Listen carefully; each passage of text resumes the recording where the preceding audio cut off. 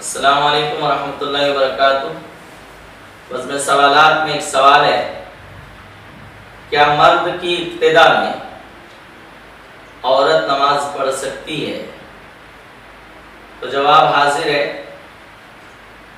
عرض یہ ہے کہ مرد جو امام ہے، وہ عورت اس کی محرم ہونی چاہیے یا اس کی بیوی ہو؟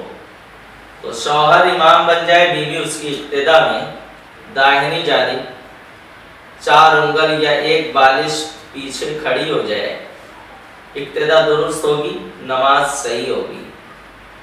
یا باپ ہے تو بیٹی اس کی ابتدا کر سکتی ہے، بھائی ہے تو بہن اس کی ابتدا کر سکتی ہے۔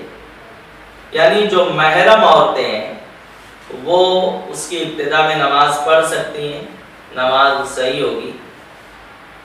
لیکن اگر کوئی مرد غیر محرم ہے، اجنبی ہے، تو اب اس کی ابتدا میں نماز صحیح نہیں ہوگی اور اس کی قطن اجازت نہیں ہے۔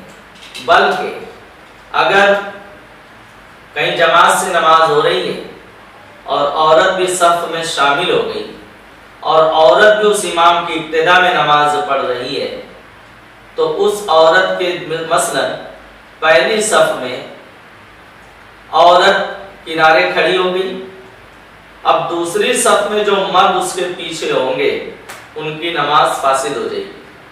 ان کی نماز فاسد ہو جائے گی یعنی ٹوٹ جائے گی۔ اس مرد کو اس نماز کا نئے سرے سے پڑھنا اس کے ذمہ فرض ہوگا۔ تو عورت جماعت میں شامل نہیں ہو سکتی ہے۔ لیکن اگر گھر وغیرہ میں جماعت بنا رہے اور شوہر امام بن جائے، عورت اس کی ابتدا میں نماز پڑھے، تو ترکیب یہی ہوگی داہنی جانب کھڑی ہو جائے وہ۔ اور اگر محرم دو عورتیں، جیسے ایک بیوی ہے اور محرم دوسری عورت اس کی بہن ہے یا اس کی ماں ہے، تو اب تینوں پیٹ کے پیچھے کھڑے ہو جائیں۔